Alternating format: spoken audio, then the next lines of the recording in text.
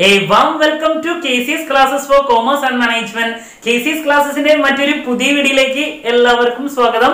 This is Kiran C S assistant professor of commerce Kerala P S C syllabus based പ്രിപ്പറേഷന്റെ last വീഡിയോയിൽ നമ്മൾ finish ചെയ്തത് levy and collection of tax അതിന്റെ introduction പാർട്ടാണ് so എന്താണ് അവിടെ നമ്മൾ ഡിസ്കഷൻ ഫിനിഷ് ചെയ്തത് ആ who is actually liable to pay G S T G S T ആരാണ് ശരിക്കും അടയ്ക്കാൻ ബാധ്യസ്ഥൻ? എന്നുള്ളത് കവർ ചെയ്യുന്ന സെക്ഷൻ ആണ് section nine section nine C G S T act two thousand seventeen so section നയനെ അഞ്ചായിട്ട് അഞ്ച് സബ്സെക്ഷനിലാണ് നമ്മൾ കവർ ചെയ്തിട്ടുണ്ടായിരുന്നത് section nine subsection one subsection two three four five so അതിലെ section nine subsection one and tool പറഞ്ഞിരിക്കുന്നത് forward charging mechanism ആണ്. That means supplier ആണ് ആദ്യത്തെ രണ്ട് സെക്ഷനിലും സപ്ലയർ ആണ് ജി എസ് ടി ഡിപ്പാർട്ട്മെന്റിന് അടയ്ക്കുന്നത്. സപ്ലയർ ആണ്. അതിനാണ് പറയാ ഫോർവേഡ് ചാർജിങ് മെക്കാനിസം സാധാരണ നടക്കുന്നത്. ദെൻ സെക്ഷൻ നയൻ സബ്സെക്ഷൻ ത്രീയിലും ഫോറിലും പറയുന്നത് റിവേഴ്സ് ചാർജിങ് മെക്കാനിസം ആണ്. ദാറ്റ് മീൻസ് അവിടെ റിസിപ്പിയന്റ് ആണ് ജി എസ് ടി അടയ്ക്കുന്നത്. അപ്പോ നയൻ വണ്ണിൽ സബ്സെക്ഷൻ വണ്ണിലും സബ്സെക്ഷൻ ടൂവിലും ഫോർവേഡ് ചാർജിങ് മെക്കാനിസം ആണെങ്കിൽ ത്രീയിലും ഫോർവേഡ് ഫോറിലും റിവേഴ്സ് ചാർജിങ് മെക്കാനിസം ആണ് നമ്മൾ കണ്ടത് ദെൻ ലാസ്റ്റ് നയൻ സബ്സെക്ഷൻ ഫൈവിലാണെങ്കിലോ ഇ കോമേഴ്സ് ഓപ്പറേറ്റർ ആണ്. അപ്പോ നമ്മൾ ലാസ്റ്റ് മെൻഷൻ ചെയ്ത് ഫിനിഷ് ചെയ്തൊരു കാര്യമാണ്. എന്താണ് അവിടെ? അവിടെ ഇ കോമേഴ്സ് ഓപ്പറേറ്ററിന്റെ കേസിൽ വരുമ്പോ സപ്ലയറും അല്ല റിസിപ്പിയന്റും അല്ല. ഒരു ഡീംഡ് സപ്ലയർ ആണ് ഈ പറയുന്ന ഈ പറയുന്ന ഇ കോമേഴ്സ് ഓപ്പറേറ്റർ സോ അതാണ് നയൻ സബ്സെക്ഷൻ ഫൈവിൽ കണ്ടത് സോ ഈ അഞ്ച് സെക്ഷനും ഇമ്പോർട്ടന്റ് ആണ് സബ് സെക്ഷൻസ് അതിൽ ഏറ്റവും ഇമ്പോർട്ടന്റ് ആയിട്ടുള്ളതാണ് റിവേഴ്സ് ചാർജിങ് മെക്കാനിസം കുറച്ച് ഡീറ്റെയിൽ ആയിട്ട് കവർ ചെയ്യേണ്ടതാണ്. നമുക്ക് കുറച്ചുകൂടി പെട്ടെന്ന് കവർ ചെയ്യാൻ പറ്റുന്നതാണ് നയൻ സബ്സെക്ഷൻ ഫൈവ് സോ ഇന്നത്തെ വീഡിയോയിൽ ഞാൻ കവർ ചെയ്യാൻ ഉദ്ദേശിച്ചിട്ടുള്ളത് നയൻ സബ്സെക്ഷൻ ഫൈവ് ആണ്. അതിനെ പറ്റിയിട്ട് ജസ്റ്റ് ഒന്ന് ഞാൻ കഴിഞ്ഞ വീഡിയോയിൽ പറഞ്ഞാണ് സോ നമുക്ക് ഇന്നത്തെ വീഡിയോയിൽ ഡീറ്റെയിൽ ആയിട്ട് പോവാം. എന്താണ് സെക്ഷൻ നയൻ സബ്സെക്ഷൻ ഫൈവിൽ പറഞ്ഞിട്ടുള്ളത്? അപ്പൊ എന്താണ്?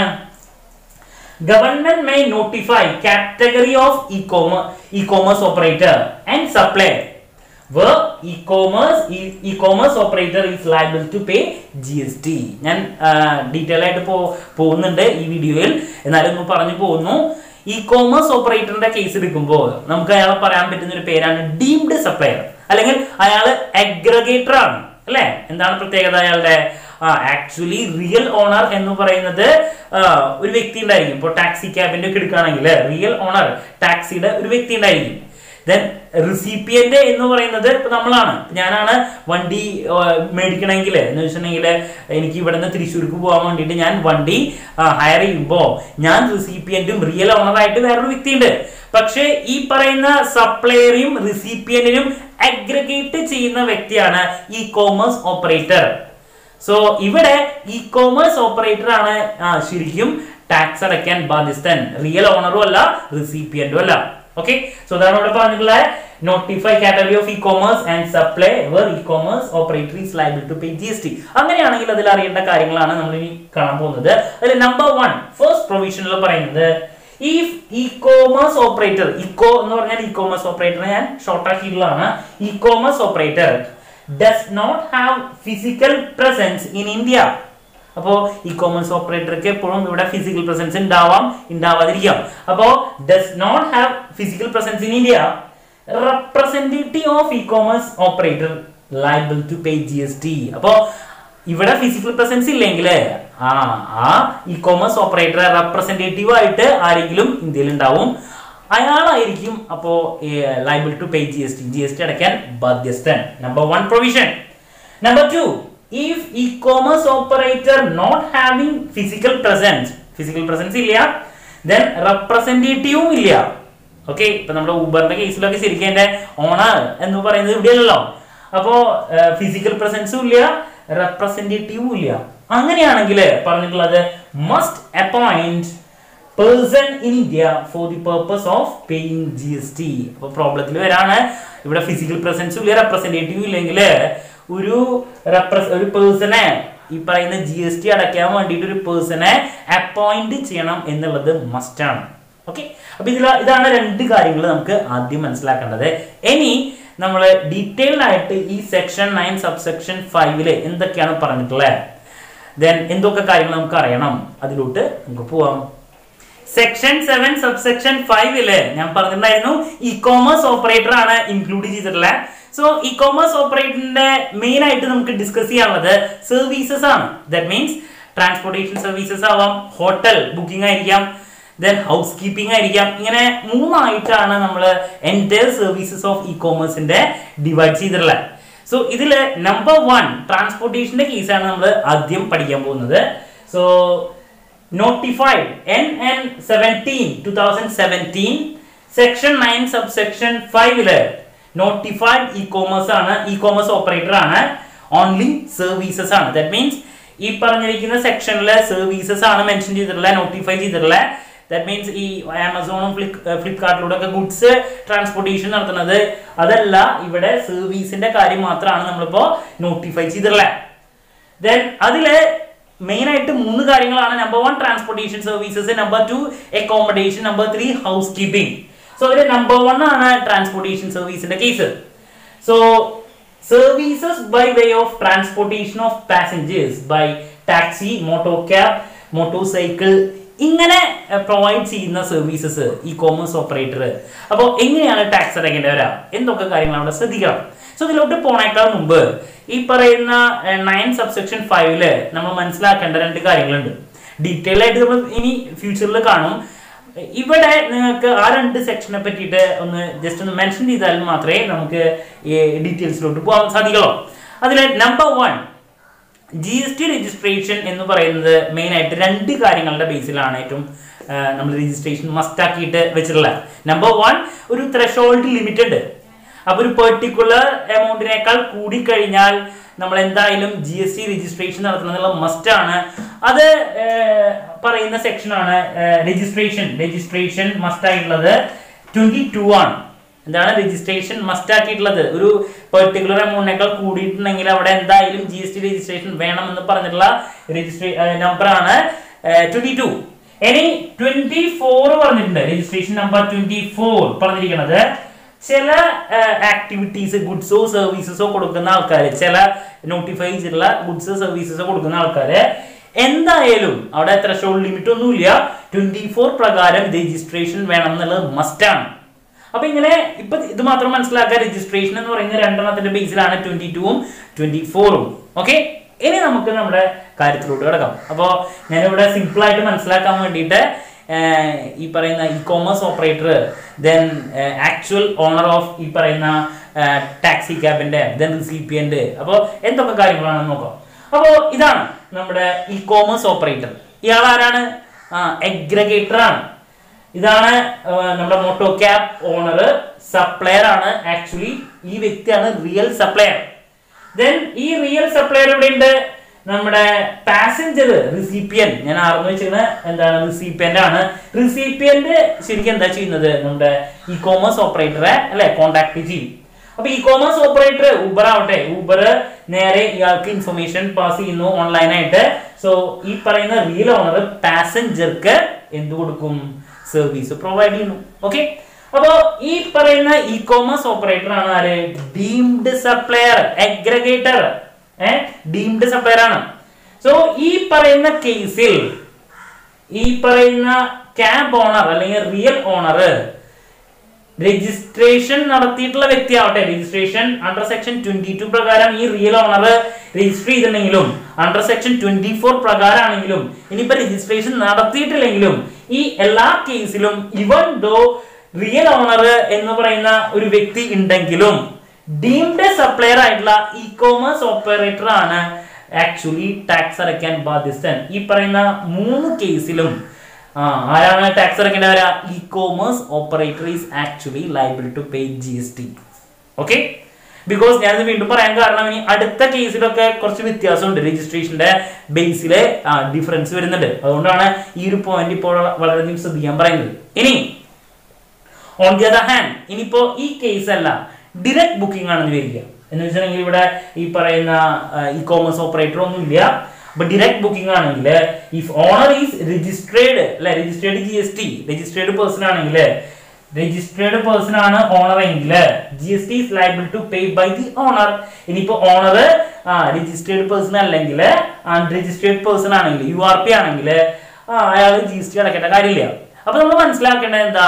ഇ കോമേഴ്സ് ഓപ്പറേറ്ററുടെ കേസിൽ ഇ കോമേഴ്സ് ഓപ്പറേറ്ററുടെ കയ്യിലോട്ടായിരിക്കും ചിലപ്പോൾ ഇവിടെ ഓൺലൈനായിട്ട് പേയ്മെന്റ് നടത്തുക ഇനിയിപ്പോ ചില ആൾക്കാർ ക്യാഷ് നേരിട്ടിട്ട് ക്യാബ് ഓണർക്ക് കൊടുക്കും. ഏത് കേസ് ആവട്ടെ? ഏത് കേസ് ആവട്ടെ? ആ ഈ പറയുന്ന മൂന്ന് കാര്യങ്ങൾ നോക്കിയേ. അണ്ടർ സെക്ഷൻ ട്വന്റി ടു ആവട്ടെ ട്വന്റി ഫോർ ആവട്ടെ രജിസ്റ്റർ ചെയ്തില്ലെങ്കിലും ഡീംഡ് സപ്ലയർ ആയിട്ടുള്ള ഇ കോമേഴ്സ് ഓപ്പറേറ്റർ ആണ് ജി എസ് ടി അടയ്ക്കാൻ ബാധ്യസ്ഥൻ. ഇനിയിപ്പോ നമുക്ക് ഇങ്ങനത്തെ ഒരു കേസിന് പകരം ഡിറക്ട് ബുക്കിംഗ് ആണ്. എന്ന് വെച്ചിട്ടുണ്ടെങ്കിൽ അവിടെ ഇ കോമേഴ്സ് ഓപ്പറേറ്റർ ഇല്ലെങ്കിൽ ആ നമ്മുടെ ഓണർ രജിസ്റ്റേർഡ് പേഴ്സൺ ആണെങ്കിൽ ആൾ ടാക്സ് അടയ്ക്കണം. അല്ലെങ്കിൽ ടാക്സ് അടയ്ക്കേണ്ട കാര്യമില്ല. ക്ലിയർ ആണോ? ഓക്കെ അപ്പൊ that's about number one point ആയിട്ടുള്ള ട്രാൻസ്പോർട്ടേഷന്റെ ഡീറ്റെയിൽസ് ഇനി നമുക്ക് രണ്ട് കാര്യങ്ങൾ കൂടി കവർ ചെയ്യാനുണ്ട്. ദാറ്റ് മീൻസ് നെക്സ്റ്റ് ഹോട്ടലും അത് കഴിഞ്ഞിട്ട് ഹൗസ് കീപ്പിംഗ് സോ നെക്സ്റ്റ് നമുക്ക് അതിലോട്ട് പോവാം. സെക്ഷൻ നയൻ സബ് സെക്ഷൻ ഫൈവിൽ നെക്സ്റ്റ് അറിയേണ്ട സർവീസ് ആണ് hotel accommodation service so hotel accommodation സർവീസിലും രണ്ട് കാര്യങ്ങളാണ് മെയിനായിട്ട് ശ്രദ്ധിക്കാനുള്ളത്. സോ ഞാൻ പറഞ്ഞിട്ടായിരുന്നു പലപ്പോഴും നമുക്ക് എന്താ ആ ഓൺലൈനായിട്ട് ഹോട്ടൽ ബുക്ക് ചെയ്യാം. സോ അവിടെ നേരത്തെ ഊബറിന്റെ ടാക്സിയിൽ പറഞ്ഞ പോലെ ഇവിടെ ഒരു ഇ കോമേഴ്സ് ഓപ്പറേറ്റർ ഉണ്ടായിരിക്കും. സോ അതിലൂടെ ഇരിക്കാം പലപ്പോഴും ഓൺലൈനായിട്ട് നമ്മൾ ഈ ഹോട്ടൽ ബുക്ക് ചെയ്യാം അപ്പൊ ആ ഒരു കേസിൽ ആരാണ് ടാക്സ് അടയ്ക്കാൻ ബാധ്യസ്ഥൻ?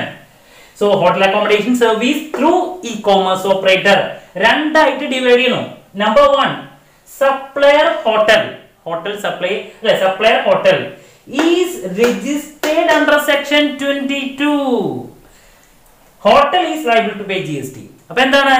Comparing with transportation case transportation കേസിൽ എന്താ നമ്മൾ പഠിച്ചത് ഇ കോമേഴ്സ് ഓപ്പറേറ്റർ ആണ് liable to pay G S T ഈ പറയുന്ന സപ്ലയർ രജിസ്റ്റേർഡ് ആവട്ടെ അണ്ടർ സെക്ഷൻ ട്വന്റി ടു പ്രകാരം ആവട്ടെ ട്വന്റി ഫോർ പ്രകാരം ആവട്ടെ ഇനി രജിസ്റ്റേർഡ് അല്ലെങ്കിലും എല്ലാ കേസിലും e commerce operator is actually liable to pay G S T but here in the case of hotel hotel supplier under section twenty two പ്രകാരം registration നടത്തിയിട്ടുണ്ടെങ്കിൽ ആ വ്യക്തിയായിരിക്കും ടാക്സ് അടയ്ക്കാൻ ബാധ്യസ്ഥൻ. അപ്പോ കഴിഞ്ഞ പോലെയല്ല ട്രാൻസ്പോർട്ടേഷൻ സർവീസിന്റെ പോലുള്ള ഹോട്ടലിലോട്ട് വരുമ്പോ. ട്വന്റി ടു പ്രകാരം രജിസ്ട്രേഷൻ നടത്തിയിട്ടുണ്ടെങ്കിൽ അയാളാണ് ടാക്സ് അടയ്ക്കാൻ ബാധ്യസ്ഥൻ. ഇവൻ ദോ അവിടെ ഡീംഡ് സപ്ലയർ ആയിട്ടുള്ള ഇ കോമേഴ്സ് ഓപ്പറേറ്റർ ഉണ്ടെങ്കിലും ഇതിലൂടെയാണ് സർവീസ് വന്നതെങ്കിലും ഈ വ്യക്തിയായിരിക്കും ടാക്സ് അടയ്ക്കാൻ ബാധ്യസ്ഥൻ. Clear number two e commerce ഓപ്പറേറ്ററിന്റെ അതിലൂടെ സർവീസ് വന്നു. Supplier hotel is not registered അത് രജിസ്ട്രേഷൻ ചെയ്തിട്ടില്ല ജി എസ് ടി രജിസ്ട്രേഷനിൽ വന്നിട്ടില്ല. എങ്കിൽ അപ്പോഴാണ് e commerce is liable e commerce operator is liable to pay G S T അപ്പൊ ട്രാൻസ്പോർട്ടേഷനിൽ കണ്ട പോലല്ല ട്രാൻസ്പോർട്ടേഷനിലാണെങ്കിൽ ഏത് കേസിലാണെങ്കിലും ഇ കോമേഴ്സ് ഓപ്പറേറ്റർ ആണ് ടാക്സ് അടയ്ക്കാൻ ബാധ്യസ്ഥൻ.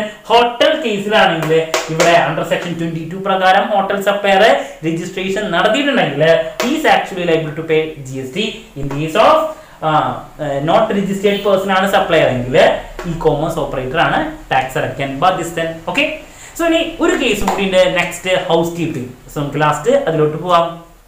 സോ ലാസ്റ്റ് കേസിലെ ഹൗസ് കീപ്പിംഗ് സർവീസസ് ആണ് ഇ കോമേഴ്സ് പ്രൊവൈഡർ തരുന്നതെങ്കിൽ അതിന്റെ എന്താണെന്നുള്ളതാണ്. ഇത് ഏകദേശം നമ്മൾ നേരത്തെ കണ്ട ഹോട്ടൽ സർവീസിന്റെ സെയിം കേസ് തന്നെയാണ് വരുന്നത്. So house keeping services through e commerce operator ആണെങ്കിൽ number one supplier is registered under section twenty two പ്രകാരം. നേരത്തെ പറഞ്ഞാണ് ആ ഒരു കേസിലാണെങ്കിൽ supplier is actually liable to pay GST. On the other hand, supplier is not liable to registered that means ഈ പറയുന്ന supplier registration നടത്തിയിട്ടില്ലെങ്കിൽ ജി എസ് ടി രജിസ്ട്രേഷൻ നടത്തേണ്ട ആവശ്യമില്ല എങ്കിൽ ആ ഒരു കേസിലാണെങ്കിൽ e commerce operator is liable to pay G S T അപ്പൊ എന്താണ്? നമ്മൾ സെക്ഷൻ നയൻ സബ്സെക്ഷൻ ഫൈവിൽ മെയിൻ ആയിട്ട് ഇ കോമേഴ്സ് ഓപ്പറേറ്ററിന്റെ കേസാണ് പഠിച്ചത് സോ ഇ കോമേഴ്സ് ഓപ്പറേറ്റർ എന്ന് പറയുമ്പോൾ ഒരു അഗ്രിഗേറ്റർ ആണ്. ഒരു ഡീംഡ് സപ്ലയർ ആയിട്ടാണ് നമ്മൾ പറഞ്ഞത് ആക്ച്വലി ആൾ റിയൽ ഓണറും അല്ല അല്ലെ? റിസിപ്പിയന്റും അല്ല. രണ്ട് കേസും അല്ല. നമ്മൾ ആദ്യം പഠിച്ചത് റിയൽ ഓണർ ആയിട്ടുള്ള വ്യക്തി ടാക്സ് കൊടുക്കുന്നതിനെ ടാക്സ് അടയ്ക്കുന്നതിനെ ജി എസ് ടി അടയ്ക്കുന്നതിനെ ഫോർവേഡ് ചാർജിങ് മെക്കാനിസം എന്നും റിസിപ്പിയന്റ് അടയ്ക്കുന്നതിന് റിവേഴ്സ് ചാർജിങ് മെക്കാനിസം എന്നും പറഞ്ഞു. ഇത് രണ്ടിലും വരാത്ത കേസാണ് സെക്ഷൻ നയൻ സബ് സെക്ഷൻ ഫൈവിൽ deemed supplier G S T അടയ്ക്കാൻ ബാധ്യസ്ഥനായിട്ടുള്ള കേസ് അതിൽ മൂന്ന് കാര്യങ്ങളാണ് പറഞ്ഞ സർവീസസ് പ്രൊവൈഡ് ചെയ്യുമ്പോൾ നമ്പർ വൺ ട്രാൻസ്പോർട്ടേഷൻ സർവീസസ് ആണ് പ്രൊവൈഡ് ചെയ്യണമെങ്കിൽ ഈ പറയുന്ന റിയൽ ഓണർ രജിസ്ട്രേഷൻ നടത്തിയിട്ടുണ്ടെങ്കിൽ അണ്ടർ സെക്ഷൻ ട്വന്റി ടു പ്രകാരം ആവട്ടെ ട്വന്റി ഫോർ പ്രകാരം ആവട്ടെ ഈ രജിസ്റ്റേർഡ് പേഴ്സൺ അല്ലെങ്കിലും. ഈ പറയുന്ന ഇ കോമേഴ്സ് ഓപ്പറേറ്റർ ആണ് ആ ഒരു കേസിലെ ടാക്സ് അടയ്ക്കാൻ ബാധ്യസ്ഥൻ. ഓക്കെ നമ്പർ ടു ഹോട്ടൽ ആവട്ടെ ഹൗസ് കീപ്പിംഗ് സർവീസസ് ആവട്ടെ അണ്ടർ സെക്ഷൻ ട്വന്റി ടു പ്രകാരം supplier registration നടത്തിയിട്ടുണ്ടെങ്കിൽ he is actually liable to pay tax even though ഈ സർവീസസ് വന്നിട്ടുള്ളത് ഈ കോമേഴ്സ് ഓപ്പറേറ്ററിന്റെ അതിലൂടെയാണ്. ആ ഒരു ആപ്പിലൂടെയോ അതിലൂടെയൊക്കെ ആണെങ്കിലും ഈ പറയുന്ന വ്യക്തിയാണ് actually liable to pay G S T on the other hand ആ സപ്ലയർ ആയിട്ടുള്ള ഈ ഹൗസ് കീപ്പിംഗിന്റെ ആവട്ടെ ഹോട്ടലിന്റെ ആവട്ടെ ആ വ്യക്തി രജിസ്ട്രേഷൻ ചെയ്തിട്ടില്ല എങ്കിൽ ആ ഒരു കേസിൽ മാത്രമാണ് ഇ കോമേഴ്സ് ഓപ്പറേറ്ററെ ടാക്സ് അടയ്ക്കാൻ ബാധ്യസ്ഥനായിട്ടുള്ളത്. സോ ഇതാണ് സെക്ഷൻ നയൻ സബ് സെക്ഷൻ ഫൈവിന്റെ എന്റയർ ഡീറ്റെയിൽസ് ക്ലാരിറ്റി കിട്ടിയെന്ന് വിചാരിക്കുന്നു. സോ നമുക്ക് നെക്സ്റ്റ് ക്ലാസ്സിൽ ഡിസ്കസ് ചെയ്യാനുള്ളത് ഏറ്റവും ഇമ്പോർട്ടന്റ് ആയിട്ടുള്ള ടോപ്പിക്കാണ് റിവേഴ്സ് ചാർജിങ് മെക്കാനിസം റിസിപ്പിയന്റെ ടാക്സ് അടയ്ക്കുന്ന കേസ് സോ നെക്സ്റ്റ് വീഡിയോയിൽ അതിന്റെ എന്റെ ഡീറ്റെയിൽസിലോട്ട് പോവാം. So this is Kiran C S signing off have a nice day thank you